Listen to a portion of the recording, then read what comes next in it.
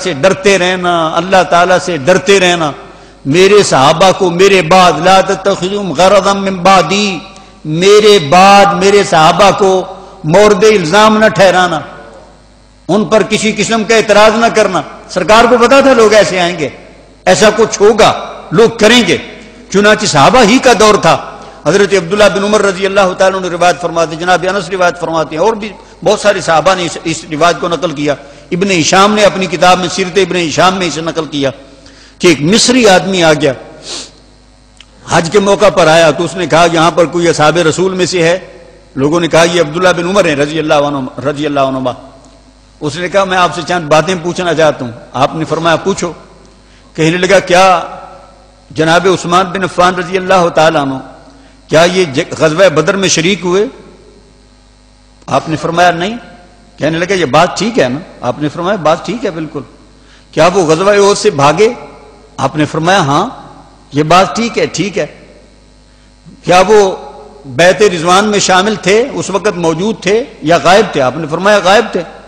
फरमाया, वो कहने लगा, ये बात ठीक है। आपने फरमाया हाँ ठीक है। कहने लगा अल्लाह अल्लाह अकबर, कि मैं जो कहना चाहता था, कहलवाना चाहता था, वो मैंने साहबी से भी कहलवा लिया। उस उस बंदे के नजरियात देखें। आपने शाह फरमाया अब सुन। ये जो तू बहुत बड़े जनाब उस्मान बिन अफान रज़ी अल्लाह के मुतलक ये वीक पॉइंट लेके आया है ना? माइनस पॉइंट मनफी, ये नुकते लेके आया। इसकी वजाहत सुन कि गजबा बदर में जनाब उस्मान बिन अफान रज़ी अल्लाह शरीक नहीं हुए। हज़रत अब्दुल्ला बिन उमर कहने लगे, ओ मिस्री, उसका नाम भी उस्मान था। ओ उस्मान, तू इस बात को जनाब सैदना उस्मान गनी रज़ी अल्लाह के मुतलक तू मनफी नुकते नज़र से बयान करता है सुन जब नबी अक्रम सल्लल्लाहु दो हिजरी में गजबा बदर के लिए तशरीफ़ ले गए तो हुजूर की साहबजादी साहबा हज़रत रुकैया रज़ी अल्लाह तहा बीमार थी। और उस वक्त जाने से पहले यह भी अंदाज़ा नहीं था कि जंग होगी या ना। नबी अकरम सल्लल्लाहु वसल्लम ने अपने हुक्म से, अपने अमर से जनाब उस्मान गनी रज़ी अल्लाह तु को अपनी जोजा, यानी नबी अकरम वसल्लम की बेटी की यादत और तीमारदारी के लिए, यहाँ पर पीछे रहने के लिए खुद हुक्म इशाद फरमाया। और आपने जब ये गजवा बदर के गनीमतें जब तकसीम फरमाई तो उस्मान गनी रज़ी अल्लाह का पूरा ये शिरकत करने वाले आदमी के बराबर आपने हिस्सा था फरमाया। और ये हज़रत उस्मान गनी रज़ी अल्लाह का वीक पॉइंट नहीं है, बल्कि ये उनका पॉजिटिव है। उनका ये मुस्बत पॉइंट है। कि आपने शिरकत नहीं की, लेकिन रसूलुल्लाह सल्लल्लाहु अलैहि वसल्लम ने इसके बावजूद उनके लिए शिरकत करने वालों के बराबर अजर का ऐलान फरमाया। दूसरी चीज़ तूने कहा हज़रत उस्मान गनी रज़ी अल्लाह गजवा बदर में भागे गजवायोद में भागे, ये बात ठीक है। बहुत सारे लोग भागे। उसमें गलती हो गई। गजवा बदर गजवायोद के हवाले से ये बात पहले कभी बता चुका हूँ कि नबी अकरम सल्लल्लाहु अलैहि वसल्लम, और ये तीन हिजरी की बात है। उहद एक पहाड़ का नाम है। अब मौजूदा मस्जिद नबी शरीफ से तकरीबन अढ़ाई तीन किलोमीटर के फासले पर, शुमाल की तरफ़। और इस पहाड़ के मुतल सरकार ने इशाद फरमाया ये पहाड़ है तो एक पहाड़, उहद है तो एक पहाड़, लेकिन, और ये हदीस बुखारी की है। उहद है तो एक पहाड़, लेकिन ये हमसे मोहब्बत करता है, और हम इस पहाड़ से मोहब्बत करते हैं। इस पहाड़ में, के दामन में एक लड़ाई हुई, जिसे गजबा उहद कहते हैं। नबी अकरम सल्लल्लाहु अलैहि वसल्लम ने पचास साहबा के ऊपर दर्रे पे आपने ड्यूटी लगा दी। नीचे जब मुकाबला हुआ तो कुफार वो शिकस्त खा गए। और जब मुसलमानों ने यह समझा कि अब कुफार भाग गए हैं तो इन्होंने माल गनीमत इकट्ठा करना शुरू कर दिया।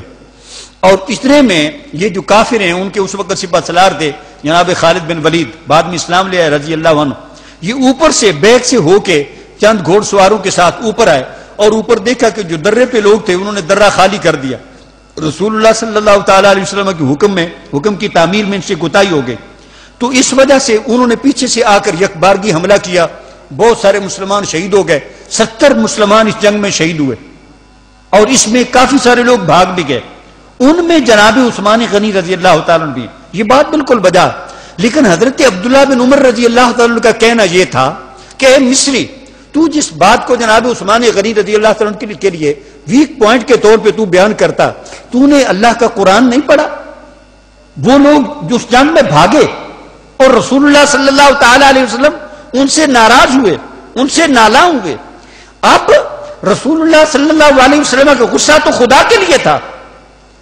अब ये हमारे यहाँ रूटीन के मुताबिक रसूलुल्लाह सल्लल्लाहु अलैहि वसल्लम को अल्लाह ताला की बारगाह में सिफारिश करने चाहिए थी कि या अल्लाह ये मेरे गुलाम हैं, मेरे साहबा हैं, इनसे गलती हो गई, इन्हें मुआफ फरमा दे।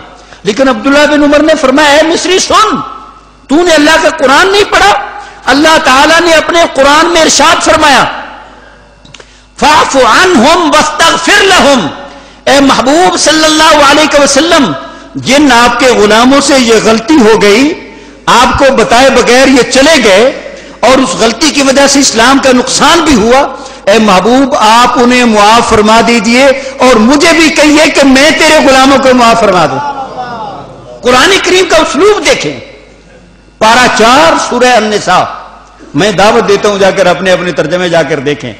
शिया मसलक का आदमी है तो वो भी जाकर देखे। इसके अलावा ईसाया करीमा का कोई तर्जमा नहीं है कि अल्लाह ताला ने वही फरमाई। इर्शाद फरमाया, फाफ अन ए महबूब, आप अपने इन गुलामों को अदा आप आप अपने इन गुलामों को मुआफ फरमा दें। वस्तग फिर लहम, मेरी बारगाह में भी इनके लिए सिफारिश फरमाए कि मैं तेरे इन गुलामों को मुआफ फरमा दूँ। भला क्या ऐसा मुमकिन है कि हुजूर हुजूर को पहले अल्लाह हुक्म दे, फिर हुजूर अर्ज़ करे तो अल्लाह मुआफ ना फरमाए?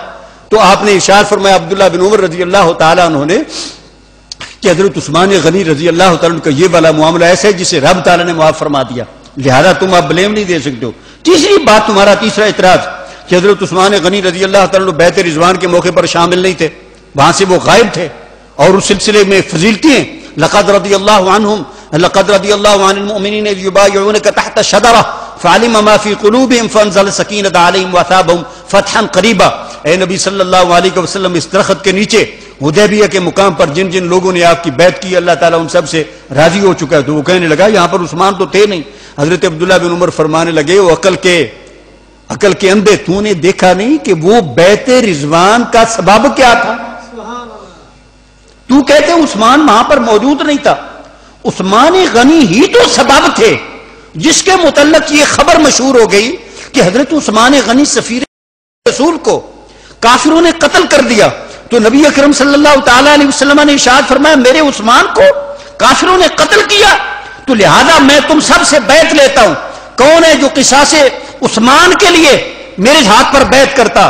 तो लोगों ने जो बैत की, इसमें अगर हज़रत उस्मान गनी रज़ी अल्लाह शामिल नहीं है तो ये एजाज ही हज़रत उस्मान गनी के लिए है कि ये सारी बैत का सबब ही जनाब उस्मान गनी रज़ी अल्लाह है।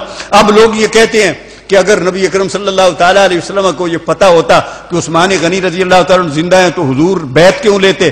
कुरानी करीम की आया करीमा फिर देखिए। एक रकू पीछे चलिए। सुरह फतह। रब तला इशाद फरमाता इन लदीना का इनमा युबायून अल्लाह यदुल्लाह फौकाईदीम एक हाथ नबी अकरम सल्लल्लाहु के नीचे था, दूसरा हाथ सारे साहबा के ऊपर हाथ रखे जाते थे और ऊपर सरकार ने अपना हाथ रखा हुआ था। अब रब ताला ने इस बैत पे तबसरा फरमाया। इशाद फरमाया नबी सल्लल्लाहु इन लदीन युबायून का बेशक वो लोग जो आपकी बैत करती हैं इन नबा युबायून अल्लाह, वो दर हकीकत रब ताला की बैत करते हैं। जहरी तौर पे उनके हाथों पे हुजूर का हाथ है। एक हाथ ऊपर है, एक हाथ नीचे है। लेकिन रब ताला फरमाता है यदुल्लाफौकाइदीम इनके हाथों पे अल्लाह का हाथ है। इनके हाथों पे अल्लाह का हाथ है। और नबी अकरम सल्लल्लाहु ने सारे सहाबा से बैत लेके फिर अपने हाथ को अपने हाथ के ऊपर रखा। आपने इशाद फरमाया हाथ हाथ ही बेत उस्मान, ये मैं उस्मान गनी की तरफ़ से बैत लेता हूँ। हुजूर खुद बैत ले रहे हैं। और हज़रत अनस फरमाते हैं, जब हुजूर अकरम सल्लल्लाहु ने उस्मान गनी रज़ी अल्लाह की तरफ़ से बैत ली तो हम में से हर आदमी जनाब उस्मान की किस्मत पर रशक करता था। ए उस्मान, कहा तेरा हाथ और कहाँ रसूलुल्लाह का रसूलुल्लाह कितना एतमाद है। रसूलुल्लाह सल्लल्लाहु अलैहि वसल्लम को कितना एतमाद है कि उस्मान गनी वहाँ पर मौजूद नहीं है। लेकिन नबी अकरम सल्लल्लाहु इसके बावजूद उनकी तरफ़ से बैत ले रहे हैं। और बाज किराम ने यहाँ पर एक बड़ी खूबसूरत बात की तरफ़ तवज्जो दिलाई। आपको मैं ये बात तफसीलन कहना चाहता था कि उस्मान गनी रज़ी अल्लाह की सुम्मत पर एहसानात क्या क्या?